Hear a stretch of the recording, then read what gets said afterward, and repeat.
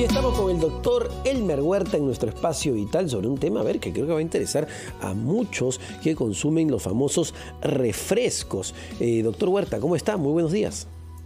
Eh, Omar, buenos días. Joana, buenos días. Buenos días también a todos nuestros oyentes en el Perú y en el extranjero que escuchan la rotativa del aire a través de Audio Player.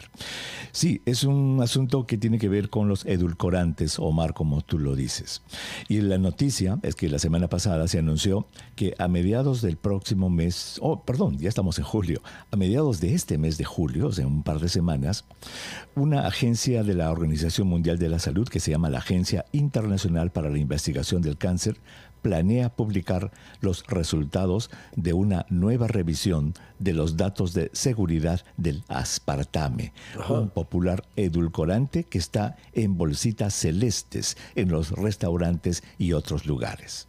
Según la agencia Reuters, la agencia va a declarar, ojo, que el aspartame es una sustancia posiblemente cancerígena para los seres humanos.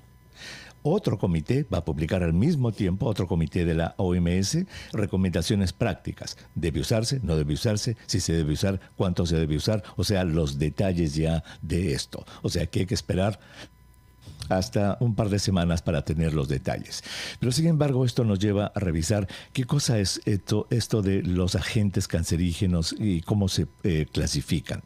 Mira, de acuerdo a la Organización Mundial de la Salud, los agentes que pueden causar cáncer, las sustancias químicas que pueden causar cáncer, se clasifican en cuatro grupos. En el grupo 4 no, no hay problema. La sustancia que se ha investigado no causa cáncer. En el grupo 4. Y en el grupo 1 sí causan cáncer. Y luego dos grupos intermedios, obviamente, el 2 y el 3. El 3 no se puede clasificar todavía, no hay datos suficientes. El 3 y el número 2 se divide en dos a su vez. Uno que dice probablemente cancerígeno, ese es fuerte, porque es probable. El, el otro es posiblemente cancerígeno no es tan fuerte como probable, es posible. Aquí está, por ejemplo, ¿cuál? El teléfono celular. El teléfono celular ha sido catalogado por la AMS como un agente posiblemente cancerígeno y el aspartame entra también en este grupo.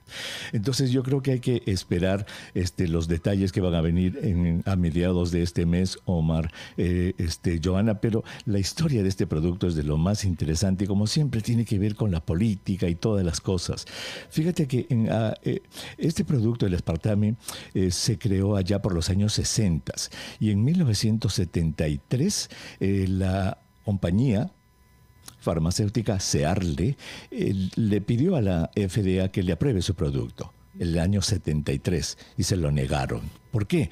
Porque la FDA dijo, señores, ustedes no nos han sido muy este, transparentes en los datos que nos han mandado porque parece que su producto causa problemas neurológicos y eso no está allí. Eso fue el 73.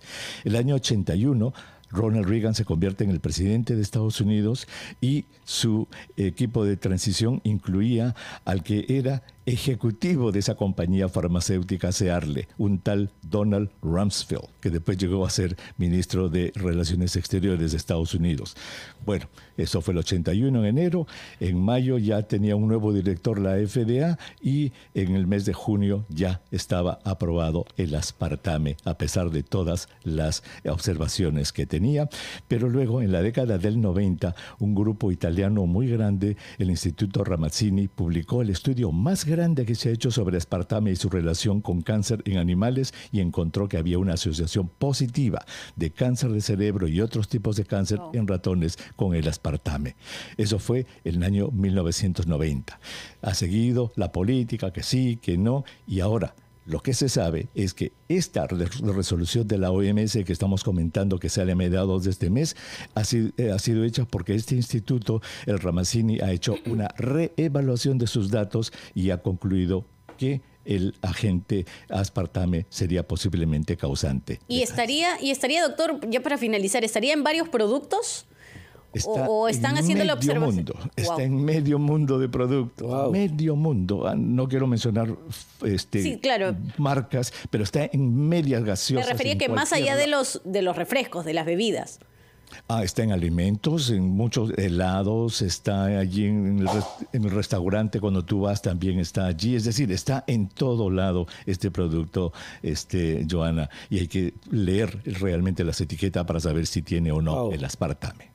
Bueno, sería interesante, sería interesante, entendemos lo de las marcas, ¿no? Pero eh, preocuparnos ya nosotros cada uno y, ver y verificar si efectivamente lo que estamos consumiendo tiene este producto por las advertencias tan serias que se está haciendo, doctor.